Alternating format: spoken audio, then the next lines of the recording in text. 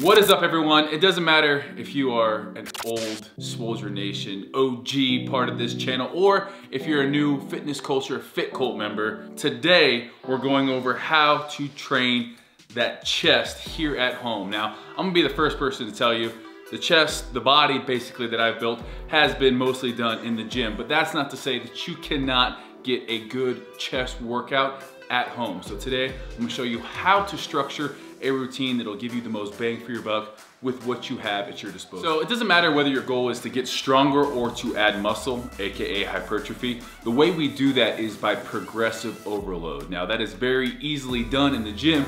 Here at home without weights, there's two ways we're gonna accomplish that. First, it's by creating angles so that we target the muscle in specific ways that we're able to overload that muscle. The second way is time under tension of any targeted muscles. That way we're really tearing down muscle fibers, leading to that hypertrophy. With the movements we're doing today, you guys need to know that we can't really prescribe you a set number of reps because we don't know what you're capable of here. But in the Fitness Culture app, the key thing is that we're gonna be progressing from week to week. So that's when you enter in all of the reps you do if you're in the gym or even at home, and then you build upon that. So with today, we're really gonna be shooting for right around that 10 to 12, but if you can do more, it's time then to make that exercise harder by either increasing that time under tension or adding maybe a backpack or elevating your feet. So with what we're doing today, again, we're really focusing on being able to progress in the future weeks to come. So you need to go to failure or close to failure depending upon what we're doing today. So today's workout, what we've done is we've programmed this routine designed to have the most difficult movement at the start. Now, what we're doing by, by making sure we do the most difficult movement first is we're almost pre-exhausting. So we're gonna start off with a plyo push-up. This is gonna really overload that chest. And then from there, we're gonna subsequently follow with easier movement. So it's almost like extending the set, but we're making sure that we're hitting the chest with a variety of movements, with a variety of angles. So we're training the upper chest, the lower chest, the inner chest, and you're gonna see that even though it's supposed to get easier, you'll still stick basically within that rep range to failure because we're only giving you a certain period of rest time that really is gonna keep you working throughout the entire giant set.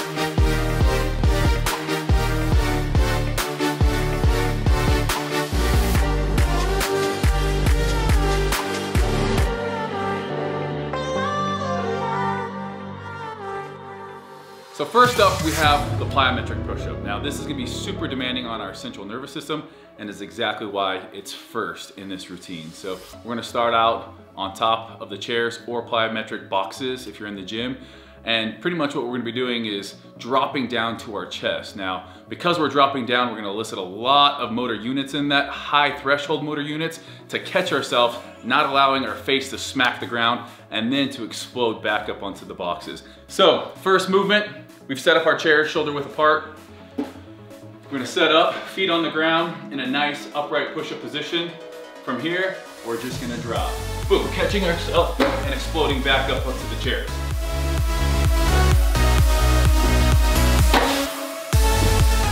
Resetting each time at the top.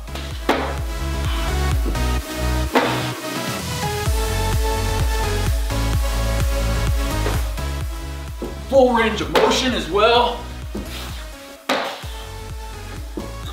Ah, starting to fatigue. Ah, one more. Ah, you can see why we can't go to absolute failure on this. We'd be missing the chair falling on our face. Now, if you can't do the plyometric push-up on the chairs, clapping push-ups. All the way down. With this, we're not generating as much force on the way down. Obviously dropping from an elevated position, we're generating a lot more force, but this is a great one. If you can't do clapping push-ups, perform them on your knees. Whatever it is that you can do, stick with that. Make sure you're getting at least 10 reps. All right, guys, as soon as you're done with the plyo push-ups, get those chairs out of the way. Give yourself about 20 seconds rest maximum. Find a wall that you can put your feet against and we'll be performing a pike push-up. Now, a pike push-up, because of our arm angle, think of the way when you're doing an incline bench press, you have your arm angle up above more towards your head. That's exactly what we're recreating by doing this pike push-up. So we're gonna be up in this pike position, booty's up in the air. This is probably one of the only times I'm gonna ever say, hey, put your booty in the air. You can also do these by putting your feet on the wall. It's getting this angle right here with our hands. From there, we're gonna press down. I actually like doing the pike variation a little bit more. You can crank out a little bit more reps. So, boom, booty's in the air, lean forward, push back. I'm not pushing up from here. You can see my head is behind my hands as I push forward. They're between my hands, my head's between my hands, and then I'm back to that starting position. This is gonna be a great developer for that upper chest. Squeeze all along. I don't want my elbows flaring out here.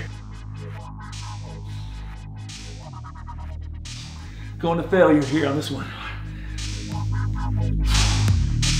Hey.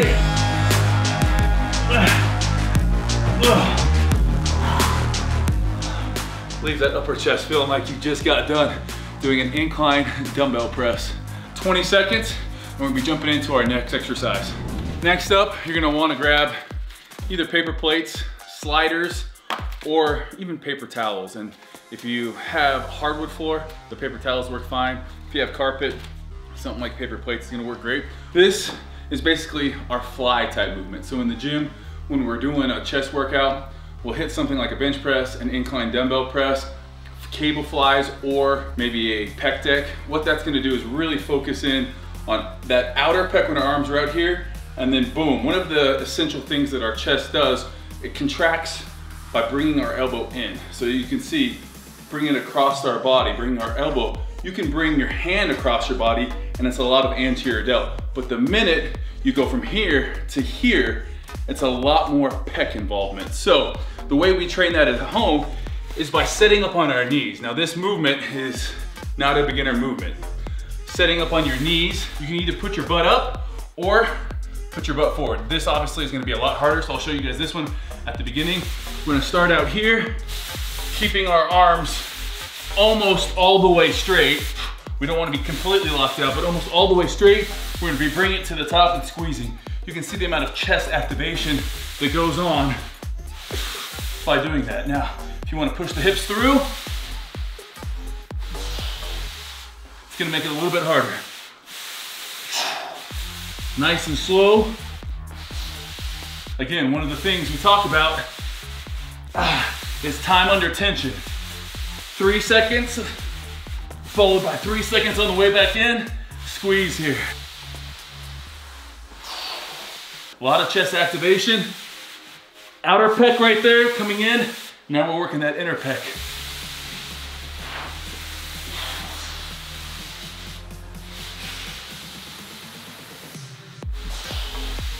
Also, mind muscle connection. If I start doing this, a lot of anterior delts taking over. So when I say mind muscle connection, it's getting in this position, slight bend in the arms all the way out, coming back up using just the chest. And that's it. Again, when people talk about mind muscle connection, it's great to have, but there's a purpose to it. That mind muscle connection allows us to stay using that pec. We feel it all of a sudden when our triceps take over or if our anterior delt, like in this exercise, takes over. You need to make sure you keep that posture and that squeeze. Doing that will make sure mind muscle connection, you're using your chest, and that's what we're working here. 20 seconds rest, you're back in it. We're gonna be doing our chair dips here. So it's gonna be a little bit different if you've never done this at home. It's gonna be targeting our lower chest. We've worked that upper chest, we're now working that lower chest. So just like we talked about that pike push-up and chest activations, the way these muscle fibers run, with a decline, we need to have our arms, if you think about a decline bench or a dip, everything is gonna be here for that lower chest. So the way we're gonna make sure we have the most activation is by trying to resemble that at home. We're gonna set up on our chairs a little bit more narrow than we had them for the plyo push-ups. This is our end position. And we're gonna start off with our head between the chairs. As we push up, our feet are just dead weight.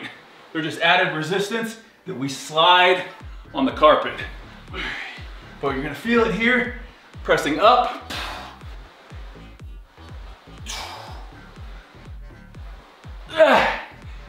Again, keeping that mind-muscle connection. Working that lower pec, trying to take, trying to take that anterior delt out of it by making sure we're in proper anatomical position. As we come up, I'm not here, keeping that chest nice and tight, scooping, squeezing, back down. Last one. Again, when I say to failure, it's failure with perfect form. Otherwise, we're gonna be using all of those triceps. We're gonna be walking out here, doing this. These types of movements, when we're really looking to target a more specific area, you gotta make sure that you're using the right angles, creating that tension, creating that angle to where we're utilizing our lower pec. This is a great chest workout. I've been in the gym doing traditional bodybuilding exercises and not had this great of a pump. All right guys, those are my four best chest exercises at home that you can do. Now, hopefully you guys have seen how we have put together our at-home chest workout. Really, we're not gonna necessarily do all these movements every single time we have a workout at home, depending upon what program you're in, but you can see how we come up with our training routines, really how we structure things. Now, if I'm under a time crunch, if I'm maybe doing a full body workout or in a hotel, if I wanna kind of get the best of all of these push-ups into one and just do one push-up, the one I'm gonna be doing is a Hindu push-up.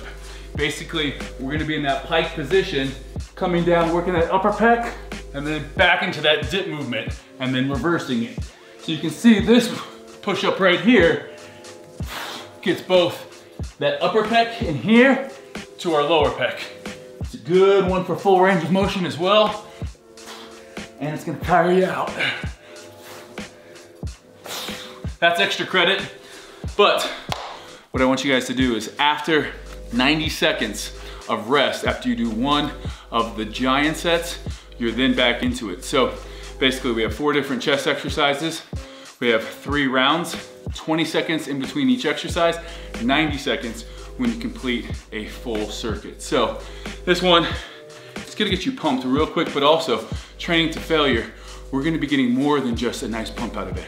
We're gonna be breaking down those muscle fibers. So make sure just like when you know you're training in the gym, your nutrition, even though you might be at home training at home, your nutrition has to be on point. Because if you're not getting adequate nutrition, you're not gonna be able to grow muscle. So anytime that I'm looking to add muscle, I'm gonna be at a slight caloric surplus. Now, it's not to say that you can't add muscle and get leaner at the same time. That's in a whole nother video entirely, but it usually takes a lot more time. It's a slower process and it all depends on someone's age, their experience levels, so we'll come into that in another, another video entirely, but hopefully you guys enjoyed this chest workout. I gotta get back to my next two rounds. Hopefully you guys have enjoyed this. Smash that like button. Make sure you subscribe and let me know what you wanna see us training next time. Thanks guys.